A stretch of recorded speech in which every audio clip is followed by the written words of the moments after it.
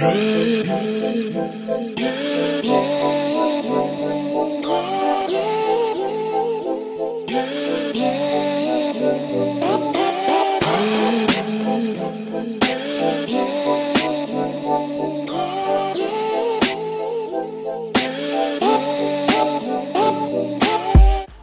I'm at the Kentucky State Capitol building and I'm shooting a time lapse. So this one should be pretty cool. I got here about an hour and 45 minutes ago and I'm doing it a little bit differently rather than compressing video to make the time lapse.